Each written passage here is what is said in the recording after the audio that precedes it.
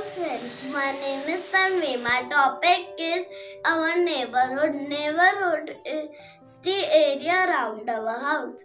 Our neighborhood provides us many things and make our life comfortable and easy.